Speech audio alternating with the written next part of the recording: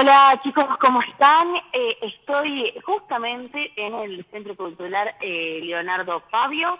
Se está por lanzar el programa Impulsar Villa María, que va a ser la presentación de la credencial de los productores locales. Hay una larga fila de productores locales que están esperando para recibir su credencial. Eh, recordemos que esto está destinado a, emprendimientos productivos, miembros de cooperativas y mutuales, pequeñas y medianas empresas y trabajadores autónomos.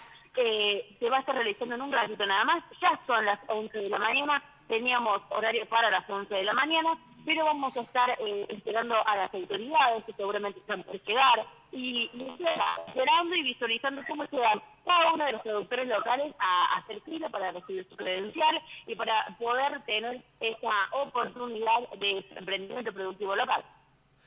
Bueno, Avi, eh, contanos, hay mucho, mucho público, muchas personas que están haciendo la inscripción. ¿Cuál es el movimiento por estas horas?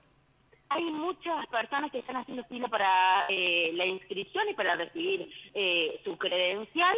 ¿sí? Eh, muchas, muchas personas que están haciendo fila en el centro cultural.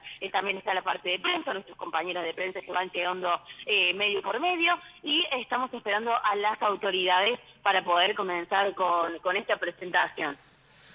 Bien, Avi, recordamos que Gesta, Grupo Gesta, acompaña el lanzamiento de Impulsar eh, Villa María. Se aguardan, nos decías, las autoridades, ¿no?